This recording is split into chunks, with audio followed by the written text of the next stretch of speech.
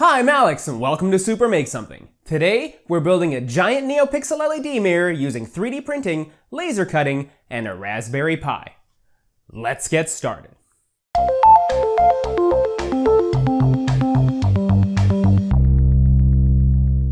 The NeoPixel mirror is made out of the following components.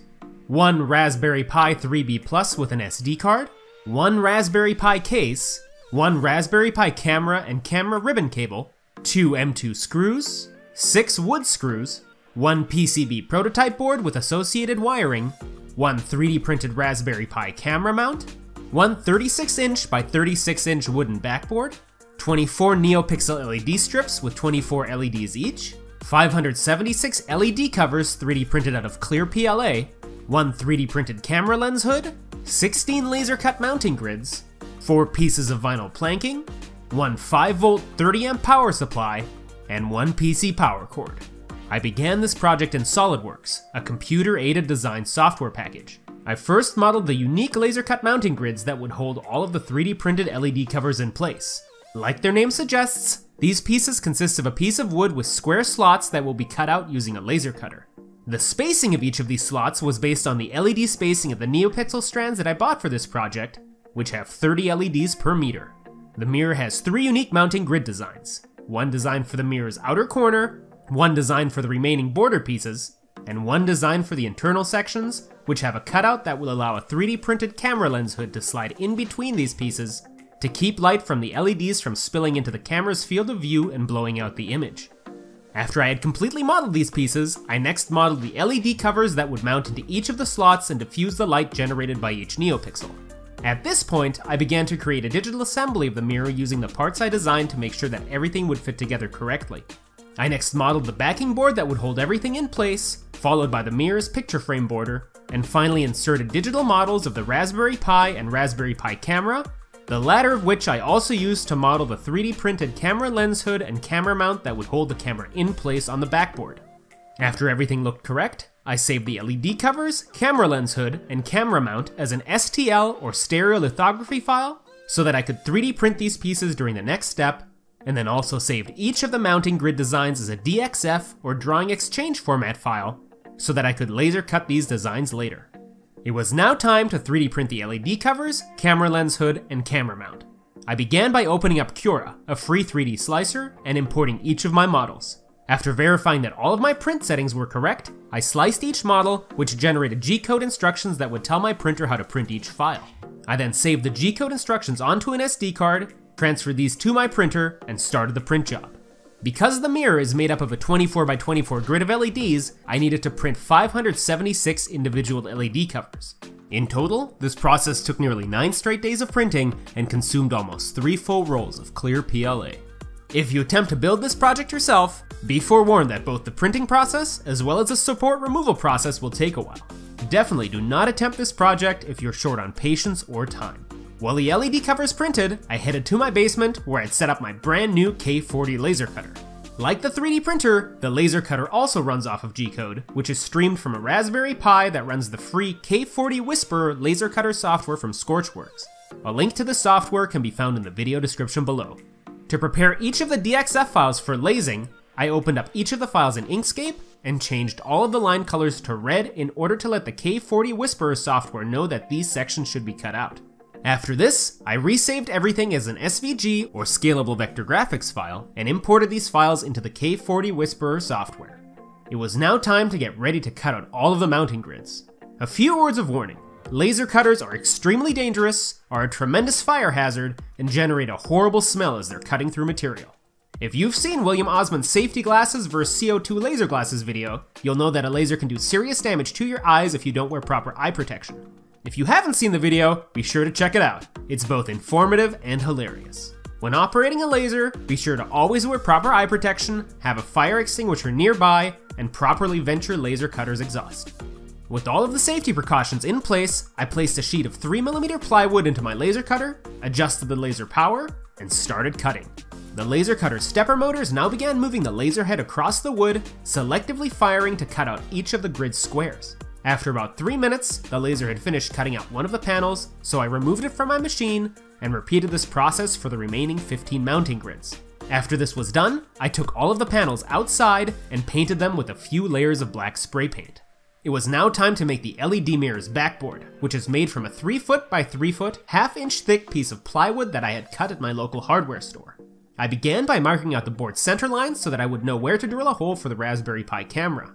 I next marked out the locations of holes along the edge of the backboard that I would need to drill in order to feed through all of the NeoPixel power and signal wires. Having a T-square definitely helps, as it will make drawing straight lines and taking accurate measurements over long distances much easier. I next propped the board onto some weights to elevate it off the ground, and then drilled quarter inch holes at each of the locations that I'd marked out in the previous step. I next laid out all of the grids on the board to help me align everything correctly, and then marked several key locations on the backboard using a red sharpie.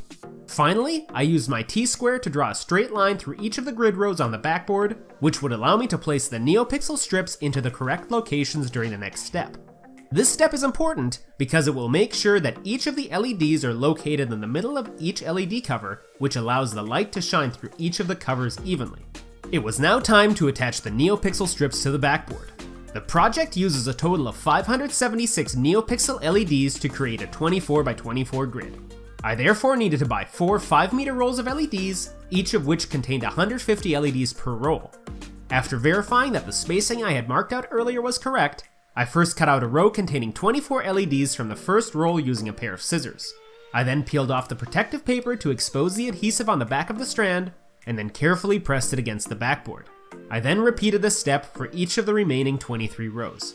The solder pads of the first and last NeoPixel in each roll were covered with heat shrink tubing to act as insulation and provide some strain relief. Because I would need to daisy chain all of these strands together, I removed this tubing by carefully cutting it with an X-Acto knife. It was now time to solder the LEDs. Because there would be a significant voltage drop if all of the LED rows were powered in series, I first connected the 5 volt and ground rail of each row in parallel using a set of jumpers.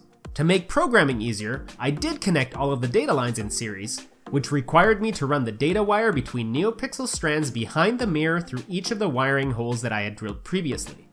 To do this, I used individual wires from a long ribbon cable, since these were both very thin and could be cut to the exact length that I needed them to be. After everything was soldered together, I taped the data wires to the backboard to get rid of any extra slack, and got ready to power up the LEDs for the first time. Because each NeoPixel can theoretically draw 60 milliamps of current at full brightness, I chose to power the mirror using an external 5V 30A power supply that I had purchased online. I began by cutting the end off a standard power cable, and used wire strippers to expose the wires in each of the individual cables in the cord. I then connected the wires to the power supply screw terminals as shown on screen. If you end up building this project yourself, please ensure that you're connecting the correct wires to the correct screw terminals. I then connected two jumper wires to the ground and 5V lines of the power supply's DC output terminals. To verify that everything was wired correctly, I next used a solderless breadboard to connect the LEDs and an Arduino microcontroller together as shown. The Arduino was previously programmed with a test program to light up each of the individual LEDs. To learn more about Arduino programming, please be sure to check out my other projects on the electronics playlist linked below. A link to the Arduino test code that I used can also be found in the video description. It was now time to plug in the power supply to see if everything worked. After inserting the power supply's cord into a surge protector and flicking on the switch, the LED slowly lit up, indicating that everything was programmed correctly. At this point, all of the mirror's parts had finished printing, so I began to glue in all of the LED covers into the mounting grid slots using superglue. To do this, I placed four drops of glue into the corners of each slot and then gently pressed in each LED cover. This process can take a while, so be sure to work in a well ventilated area as the super glue gives off a slight odor that will definitely get to you as you're gluing in all 576 covers. Once all of the covers were glued in place, it was time to attach the assembled grids to the backboard. For this, I used hot glue, as it is both extremely viscous and also sets very quickly. I kept the LEDs on during the gluing process, which allowed me to make sure that everything was aligned correctly. Comparing the bare LEDs to the other LEDs shows that the printed covers did a great job at diffusing the light, making the images on the mirror much easier to see. To make everything look a little bit prettier, I next headed to my garage, where I used a miter saw to cut four pieces of vinyl planking that I would use for the mirror's frame. These pieces were designed to look like stained wood, which saved me an extra paint step during the assembly process. After all of the framing pieces were cut, I attached some wooden squares that I had left over from cutting out the mounting grids to the back of the vinyl planks. These squares served as spacers to make sure that the frame would sit at the correct height. After this, I glued the frame to the backboard using a bit of wood glue. The final mechanical assembly step was to attach the Raspberry Pi, camera, and camera lens hood to the backboard. I began by gluing the lens hood into the slot on the front face of the mirror using a bit of superglue. While this dried, I attached a Raspberry Pi camera module to the 3D printed camera mount using two M2 screws. I next flipped the backboard over again and used four wood screws to attach the camera to the backboard so that the lens pointed through the camera hole and lens hood. After this, I attached a Raspberry Pi case that I had bought online directly underneath the camera mount using two more wood screws, and then covered these screws with Kapton tape to make sure that the screw heads would not accidentally short out the Pi. Once the case was attached, I placed the Raspberry Pi into the case and then added the case's top cover for some additional protection, after which I connected the Pi to the camera using the onboard connector and a Raspberry Pi camera ribbon cable. I next connected jumper wires to the Raspberry Pi board, and then used PCB prototyping board to wire everything together as shown on screen. The connections on this board were again covered with a bit of Kapton tape, and the PCB was attached to the backboard using more hot glue. Finally, I used a braided cable sleeve to bundle the power and ground connections coming into the PCB together to keep everything nice and neat, after which I attached these wires to the DC terminals in the power supply to complete the mirror assembly. The final step was to program the Raspberry Pi. For this, I first installed the Raspbian operating system on an SD card and set up the Pi to be accessible via remote desktop. Please check out my Raspberry Pi setup plus Wi-Fi remote desktop access video link below for more details about this process. Once the Pi was up and running and I had connected via remote desktop, I opened up the terminal and typed in sudo raspi-config, which opened up the Raspberry Pi software configuration tool. There, I proceeded to the Raspberry Pi configuration menu and ensured that the camera, SSH, VNC, SPI, I2C, serial, one wire, and remote GPIO options were all enabled. At the time of making this video, the Raspberry Pi's built-in Broadcom sound chip interferes with the NeoPixel library and causes it to work incorrectly. To get around this, I next disable the sound chip through the console terminal by blacklisting the sound card. To do this, I first created a new file called alsa-blacklist.conf on the desktop and added the line blacklist snd underscore bcm 2835 to it. After this, I again open up the terminal and enter the command gksudo, which opened up a dialog box prompting me to run a program. With the as user root option selected, I next typed in pcmanfm which brought up a file browser with special edit permissions of the Raspberry Pi's low-level directories. In this file browser, I navigated to the etc slash modprobe.d folder and copied the configuration file I had just created into it. After this, I deleted the configuration file from my desktop and rebooted the Pi by typing sudo reboot into the terminal, which caused the Raspberry Pi to restart.